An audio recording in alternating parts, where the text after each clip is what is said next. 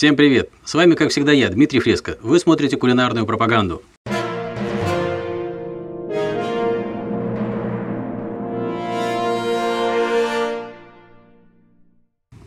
Ко мне регулярно поступают запросы. Готовь соусы, соусы, еще раз соусы. Может подумать, что основная аудитория моя находится не в России, а во Франции. Давайте сегодня займемся очень любимым народом, самым простым и, наверное, самым известным в мире соусом майонез. Соседи затеяли ремонт, и я чувствую, сегодня у нас будет просто потрясающая съемка. Я даже не знаю, как я смогу избавиться от этих постоянных шумов такая бригада собралась. Майонез – это совершенно потрясающий соус. У него есть ненавистники, но подавляющее большинство в России, по моим наблюдениям, его просто обожают. И перед новогодними праздниками берут его просто ведрами.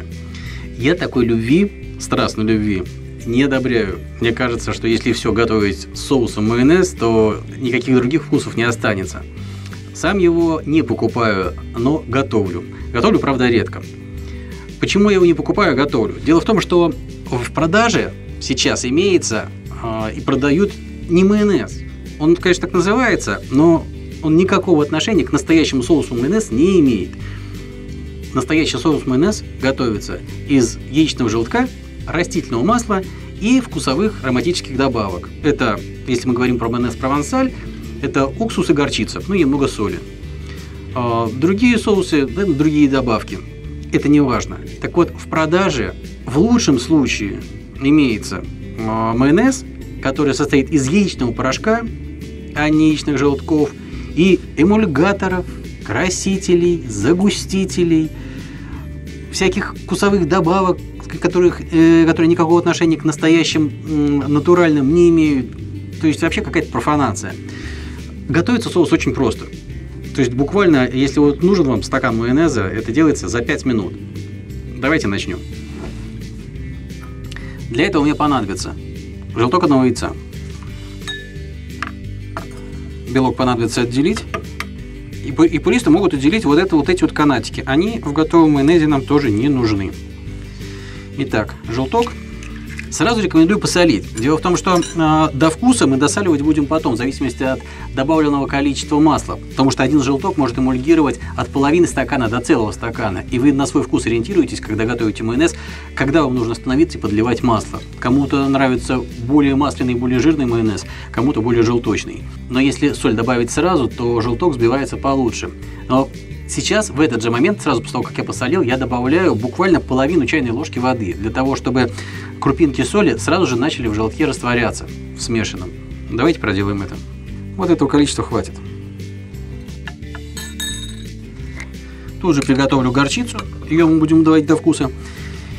Сейчас начинается самый ответственный момент.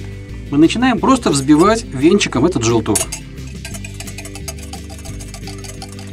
Это можно делать и электрическим агрегатом, но тут нужно следить. Очень легко желток перевзбить.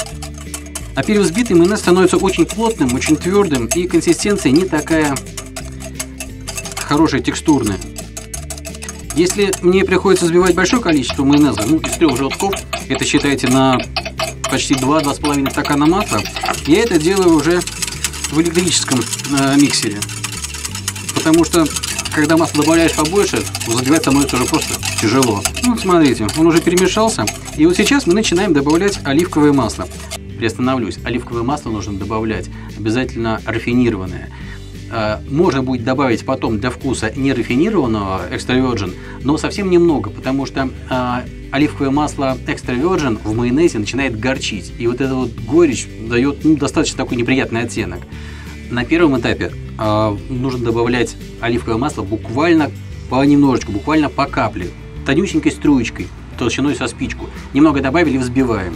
Если добавить сразу много, очень легко э, ваш майонез может засечься и перестанет взбиваться. Смотрите, добавляю, вот этого хватит пока. Здесь даже половины ложки нет. И начинаю взбивать. Это слово засечься я употребил, чтобы выпендриться. Я имел в виду, что он при добавлении слишком большого количества зараз оливкового масла начнет расслаиваться, разбиваться на части, слоиться, ну перестанет взбиваться. Яйца для майонеза желательно брать свежие, естественно. Если вы в первый момент не переборщили с маслом, то ваш желток начинает эмульгировать это масло и загустевать. И все начинает становиться похожим на разгоряченное сливочное масло. Это знак того, значит, все идет по правилам, все идет по плану. Добавляем еще немного. Чем больше добавите масла, тем более светлым, а, более кремово-белым будет майонез у вас готовый. Видите, пока добавлено еще очень мало, и поэтому он весь такой желтенький, но уже густой. Добавляю побольше масла. Смотрите, видите, он собрался очень такой густой. Продолжаем процесс. Когда он собрался вот уже вот такими длинными полосками, вот загустел, можно добавлять уже больше. Но опять же не переборщите. Хранится такой майонез в холодильнике дня три. Сравните со сроками хранения промышленного. Представляете, что туда понапихали, каких консервантов. Добавляем еще масло. На мой вкус очень важно не перевзбить майонез, чтобы он не загустел и не стал таким комковатым, э, плотным. Поэтому тут нужно аккуратно работать венчиком. И вот уже на этом этапе я не люблю очень масляный майонез и добавляю не больше половины стакана масла на один желток. Вот уже на этом этапе можно заниматься добавками ароматических всяких веществ. В данном случае это будут горчица и уксус. Это острая горчица. Она по вкусу, наверное, наиболее близка нашей такой ядреной русской горчице.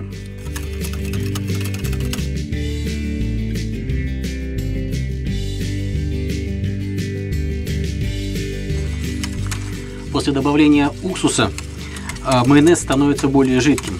Поэтому вот этот комок, который был в начале, сейчас превращается вот в такую вот уже растекающуюся пасту, массу. Как у нас моментально погода меняется, уже солнце спряталось за тучки. Ну вот, майонез практически готов. Переложим его в чашку. Всего в этом майонезе сейчас почти полная чайная ложка горчицы и, наверное, не одна столовая, а одна столовая, одна чайная, ну, то есть где-то 4 чайных ложки э, уксуса. Для того, чтобы получить вкус майонеза провансаль, нужно даже еще немножко больше, больше уксуса добавить, потому что майонез провансаль, он такой уксусный. Ну, тут все по вашему вкусу все делайте, все выбирайте. Вот смотрите, какой он получился. Видите, какая красота? Такой густой, ароматный. Попробуем. Отличный, замечательный майонез. Что особенно радует. Здесь нет никаких эмульгаторов, красителей, никаких консерваторов, консервантов. Кроме уксуса, конечно. Вы видите, какой густоты он получился. Совершенно замечательный. Такой густой, но все-таки стекает. Тяжело, но стекает с ложки добиться той густоты, какой вам нужно, можно на самом первом этапе, когда вы только начинаете взбивать его, э, взбивать яйцо и масло, еще не добавили ни уксус, ни горчицу.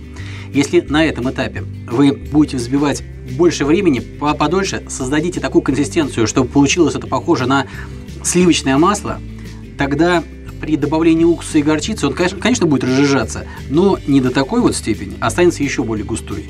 Тут все на ваш вкус. Мне, честно говоря, очень густой не нравится. Еще момент. Вот в этом майонезе сейчас есть уксусная кислота. А вы можете получить совершенно другие ароматы, если будете вместо уксуса добавлять, допустим, лимонный сок, или яблочный уксус, или винный уксус. Это тоже будет майонез. Это будут другие вкусы, другие ароматы, которые, возможно, вам понадобятся в каких-то еще блюдах, в каких-то салатах. Если вы делаете майонез свой для того, чтобы заправлять, к примеру, салат, то для салата можно делать более уксусный, более кислый по вкусу майонез, для того, чтобы э, в самом салате он заиграл всеми красками, всеми ароматами, чтобы не нужно было добавлять еще что-то к майонезу, еще какие-то вкусы и ароматы. В общем, майонез – это база, и на эту базу вы наслаиваете свои желания, свои хотелки, свои мысли, свои фантазии, ровно так, как вам подсказывает в этот момент э, ваш язык, ваши вкусовые повырыжки. На сегодня, я думаю, это все. Спасибо за внимание. Новые зрители, заглядывайте вот сюда. Здесь ролик снят специально для вас. В этом ролике я рассказываю, где еще можно посмотреть рецепты кулинарной пропаганды. Я ведь не только видео снимаю, я еще и тексты пишу, и фотографии. Кстати, что-то вы, зрители мои, уважаемые, в Инстаграме не активны. Туда я очень много фоток выкладываю. Спасибо за компанию. Всем пока.